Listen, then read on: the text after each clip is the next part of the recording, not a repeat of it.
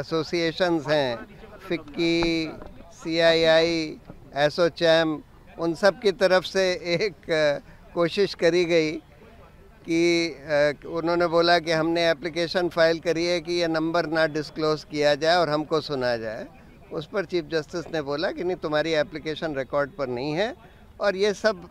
सब लोगों को जब हमने इंटरिम ऑर्डर पास किया था तो ये सबको नोटिस पर डाल दिया था जब 2019 में इंटरिम ऑर्डर पास किया था कि भाई ये डिटेल्स डोनर डिटेल्स सब डिस्क्लोज करने होंगे। तो इसलिए उन्होंने फिर स्टेट बैंक को सुना और स्टेट बैंक ने बोला कि नहीं, हमारे पास बॉन्ड नंबर्स वगैरह सब हैं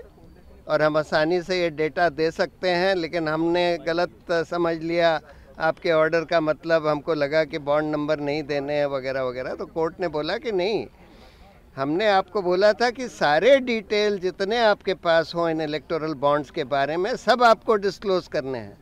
उसका ये मतलब नहीं था कि आप बॉन्ड नंबर नहीं देंगे या और कोई डिटेल नहीं देंगे तो उन्होंने बोला है कि सारे ही डिटेल्स जो भी उनके पास बॉन्ड के बारे में हों, वो पूरे के पूरे डिस्क्लोज करें।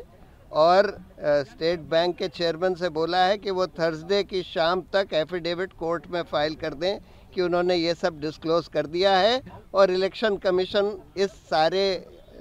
बॉन्ड नंबर्स के साथ सारे बॉन्ड्स के डिटेल्स तुरंत पब्लिकली डिस्क्लोज कर दें।